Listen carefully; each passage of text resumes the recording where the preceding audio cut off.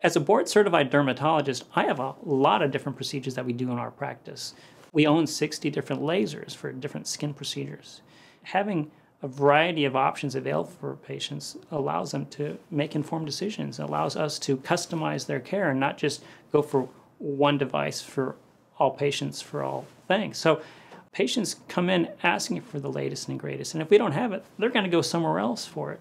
So we invested in three different robotic systems and they're busy. Patients come in, and I'd say over 85% of my, my patients are asking for the robotic procedure when they're asking about hair transplantation. So I think investing in the capital equipment, having it available, and using it will help grow your practice faster.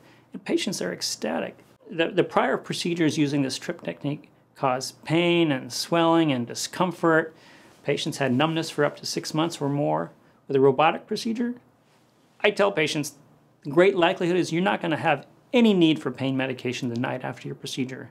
A good number of our patients come back back to back days. They might have a procedure on a Monday and repeat another session on a Tuesday.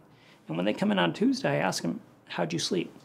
Not one pain medication. They slept like babies. So we can't say the same thing with a strip procedure. With that procedure, it was a harsh procedure for patients. So this has been a real game changer for our patients. So we're pleased to be able to recommend it to other doctors, and I'm happy to have anybody come into our office to be able to see how this works in our facility. The ARTAS Hair Studio software has been a game changer in my practice. Prior to having that software, patients would come in and we would show them before and after pictures of people who might have similar amounts of grafting, but it wasn't them, it was pictures of other people. Patients want to know what they're going to look like after a procedure. So with the ARTAS Hair Studio software, we take five images. We create a 3D-like image, and we could then design a hairline and a grafting session that would be appropriate for them. So they have a more realistic understanding and expectation as to what they might look like after the procedure.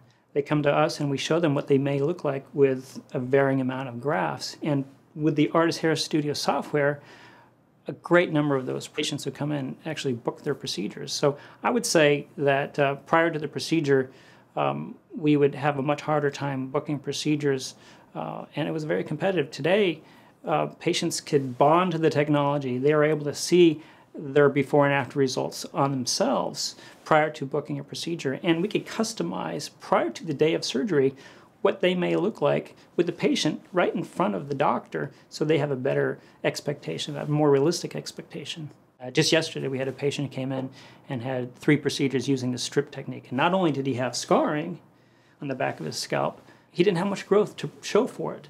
So he came to me with a desire to think about the latest and greatest advances, and we talked about the ARTAS robotic system. So the, the system allows us to harvest with impunity, meaning we're not going to induce a linear scar. We're not going to have that six months of potential numbness and pain and discomfort.